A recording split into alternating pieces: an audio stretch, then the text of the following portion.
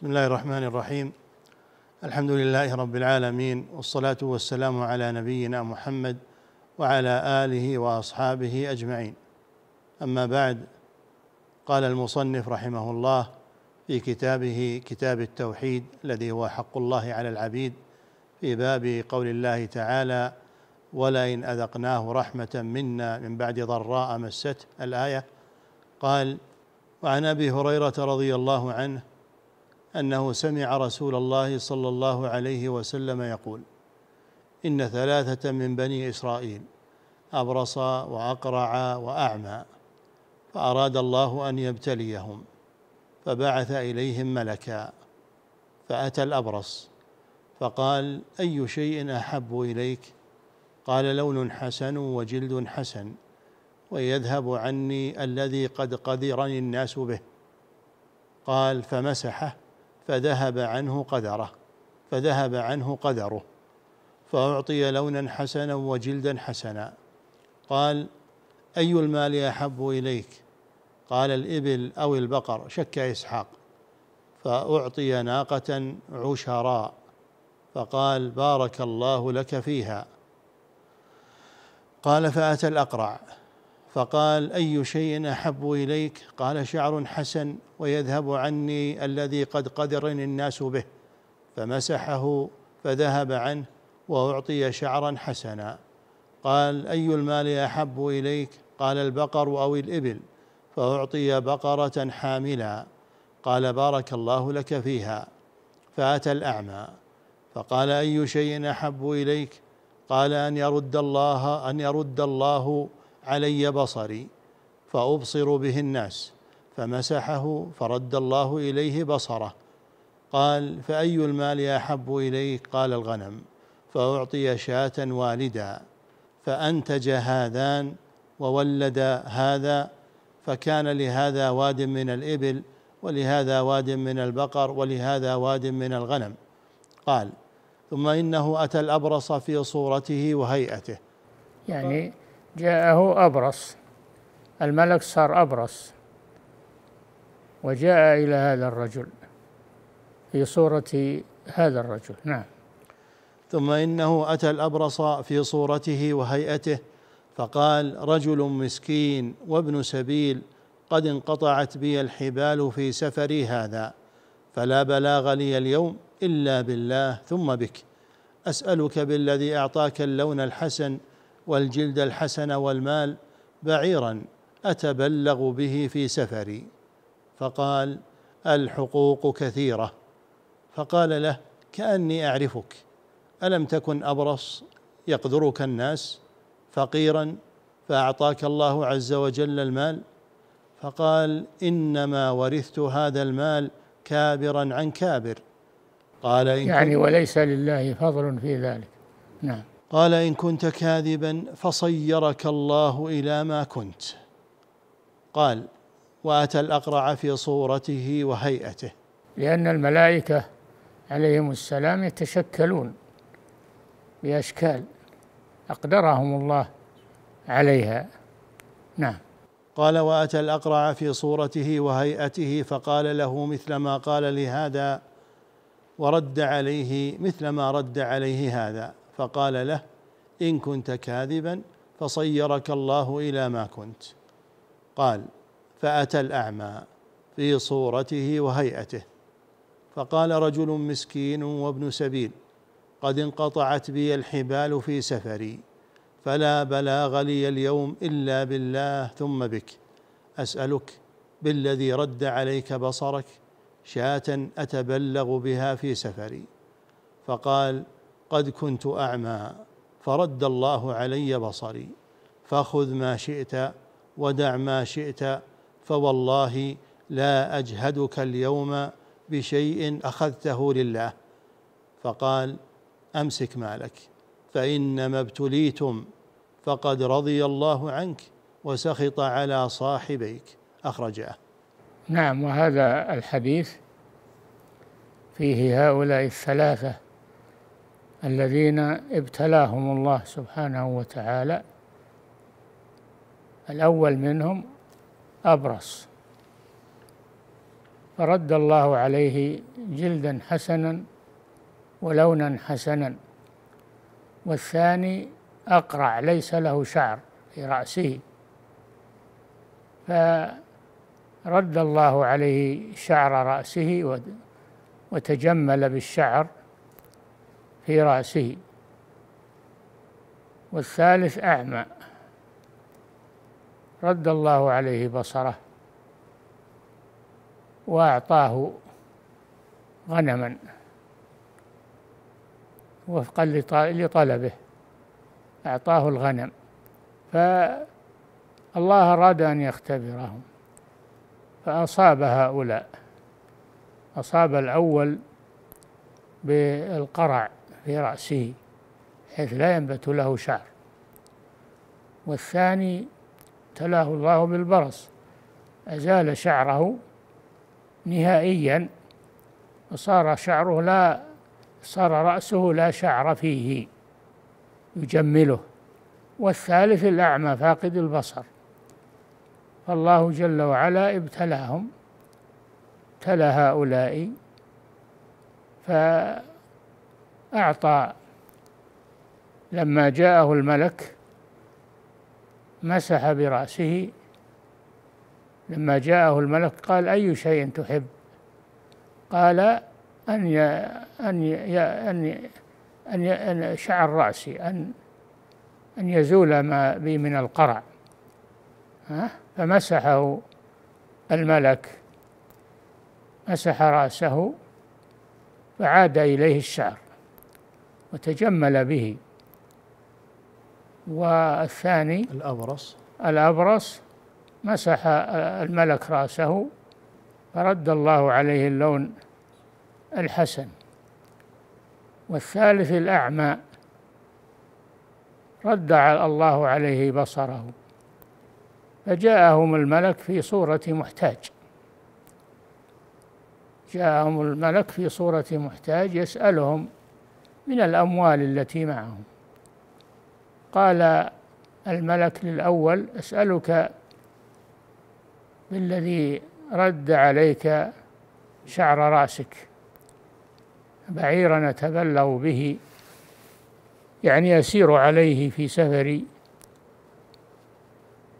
فقال له صاحب الإبل الحقوق كثيرة. يعني لو بعطيك أعطيت الثانين والثالث والرابع فينفد المال بزعمه. وقال قال صاحب البقر إنما أوتيت هذا المال على علم عندي على علم عندي بوجوه المكاسب فهذا المال من كسبي. وليس لأحد فضل فيه. كابرا عن كابر. كابرا عن كابر. ورثت هذا المال كابرا عن كابر. وليس لأحد علي فضل فيه. وقال الأعمى قد كنت أعمى فرد الله علي بصري فخذ ما شئت ودع ما شئت فوالله لا أجهدك أجهدك على شيء أخذته لله عز وجل فكان أحسنهم مقالة شاكرا لله على نعمه. فقال لهم الملك إنما ابتليتم بهذه الأسئلة رضي الله وقد رضي الله عنك وسخط على صاحبيك الأقرع والأبرص لأنهما جحدا نعمة الله عليهما. وهذا مناف للتوحيد توحيد الله عز وجل. والأعمى رضي الله عنه لأنه اعترف بفضل الله عليه. وهذا من التوحيد ومن العقيدة الاعتراف بنعم الله سبحانه وتعالى. نعم. قال الشارح رحمه الله في كتابه فتح المجيد قال أخرجاه أي البخاري ومسلم. والناقة وهذا ما اتفق عليه الشيخان هذا أصح الأحاديث. نعم. والناقة العشراء بضم العين وفتح الشين وبالمد هي الحامل. نعم. وقوله أنتج وفي رواية فنتج معناه تولى نتاجها والناتج للناقة كالقابلة للمرأة. نعم. قوله ولد هذا هو بتشديد اللام أي تولى ولادتها وهو بمعنى أنتج في الناقة فالمولد والناتج والقابلة بمعنى واحد لكن هذا للحيوان وذلك لغيره. نعم هذا آه، الناتج والتوليد هذا للحيوان. والثالث القابلة. القابلة هذا لبني آدم. نعم. وقوله انقطعت بي الحبال هو بالحاء المهملة والباء الموحدة أي انقطعت بي الأسباب. نعم الحبال في الشرع هي الأسباب التي يتوصل بها إلى المطلوب. نعم. قوله لا أجهدك معناه لا أشق عليك في رد شيء تأخذه أو تطلبه من مالي ذكره النووي. نعم. لا أجهدك يعني لا أشق عليك بشيء أخذته لله عز وجل. نعم. وهذا حديث عظيم. وفيه معتبر فإن الأولين جحدا نعمة الله. وهذا محل الشاهد من الحديث. نعم. وهذا حديث عظيم وفيه معتبر فإن الأولين جحدا نعمة الله فما أقر لله بنعمة ولا نسب النعمة إلى المنعم بها ولا أديا حق الله فيها بنعمه. فحل عليهم السخط وأما الأعمى. فاعترف وهذا, وهذا فيه معتبر للذين يتكبرون بأموالهم ويظنون أنها من كسبهم وكدهم ويجحدون فضل الله عليهم. نعم. وأما الأعمى فاعترف بنعمة الله. ونسبها إلى من أنعم عليه بها وأدى حق الله فيها فاستحق الرضا من الله بقيامه بشكر النعمة. لما أتى بأركان الشكر الثلاثة التي لا يقوم الشكر إلا بها وهي الإقرار بالنعمة ونسبتها إلى المنعم وبذلها فيما يحب. فيما يحبه المنعم نعم. أركان الشكر الثلاثة التي لا يقوم الشكر إلا بها وهي الإقرار بالنعمة. نعم. ونسبتها إلى المنعم. الإقرار بالنعمة أنها من الله لا بكده. نعم.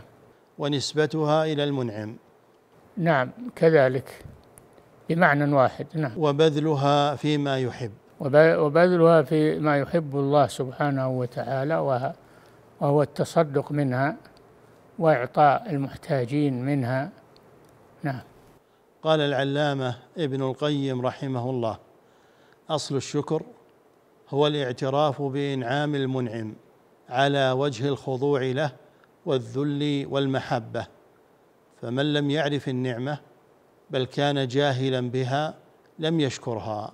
هذه أركان الشكر وهي فمن لم يعرف النعمة الأول معرفة النعمة وأنها نعمة من الله. لا بكده ولا بكسبه. نعم. ومن عرفها ولم يعرف المنعم بها لم يشكرها أيضا. ومن عرفها ولم يعرف المنعم بها وهو الله بل نسبها إلى نسب ذلك إلى غيره وأن فلانا هو المتفضل عليه بهذا المال. نعم. ومن عرف النعمة والمنعم لكن جحدها كما يجحد المنكر لنعمة المنعم عليه بها فقد كفرها. نعم من لم يعرف النعمة وأنها من الله وينسبها إلى الله فقد كفر بها. نعم. ومن عرف النعمة والمنعم بها وأقر بها ولم يجحدها ولكن لم يخضع له ولم يحبه ويرضى به وعنه لم يشكره أيضا. نعم هذا كلام ابن القيم رحمه الله. لازم من الأمور الثلاثة حتى يتحقق الشكر. معرفة النعمة ومعرفة المنعم بها ووضعها في مواضعها. نعم. ومن عرفها وعرف المنعم بها وأقر بها وخضع للمنعم بها وأحبه ورضي به وعنه واستعملها في محابه وطاعته فهذا هو الشاكر لها. نعم من اجتمعت فيه هذه الأمور الثلاثة معرفة النعمة ومعرفة المنعم بها صرفها في طاعة الله. هذه أركان الشكر. نعم. فلا بد في الشكر من علم القلب. والله قد أثنى على نبيه نوح. عليه السلام. قال ذرية من حملنا مع نوح إنه كان عبدا شكورا. نعم. فلا بد في الشكر من علم القلب وعمل يتبع العلم وهو الميل إلى المنعم ومحبته والخضوع له. نعم. قوله قدرني الناس بكراهة رؤيته وقربه منهم. إي نعم لأنهم يكرهون الأقرع والاختلاط به. خوفا من أن يعديهم. نعم. قال المصنف رحمه الله فيه مسائل. الأولى هذا هذا فقه الباب. من عادة المصنف الشيخ محمد بن عبد الوهاب رحمه الله أنه يذكر فقه الباب. وذلك بذكر ما يستفاد منه من المسائل العلمية. نعم. الأولى تفسير الآية ولئن أذقناه رحمة منا. نعم أعطيناه يعني. الثانية ما معنى ليقولن هذا لي؟ يعني يجحد نعمة الله عليه بها. الثالثة ما معنى قوله إنما أوتيته على علم عندي؟ فيجحد أن أن الله هو الذي أعطاه إياه وإنما هي بكده وكسبه وعلمه وخبرته. نعم. الرابعة ما في هذه القصة العجيبة من العبر العظيمة. نعم من العبر العظيمة آه، من الثلاثة العبر الثلاثة التي التي فيها. نعم. فضيلة الشيخ وفقكم الله بعض أصحاب المزارع يعني يعطي هذه النخل يعطيه سماد ويكرمه بالماء فيأتي آه، الثمر جيد والآخر لا يعطيه. فيقول لأني أعطيت هذا السماد والماء أصبح الثمر جيدا وهذا ليس كذلك. فهل هذا يدخل في الباب أو لا يدخل؟ لا لا يدخل بالباب يعني هذا رد إلى الأسباب هذا سبب يعني. نعم. ما يعتبر داخل. لا ما في شك أن النخلة التي تعطى سماد وتروى بالماء ويخفف عنها الحمل أنها أنها تنتج. نعم. والحمد لله رب العالمين وصلى الله وسلم على نبينا محمد وعلى آله وأصحابه أجمعين.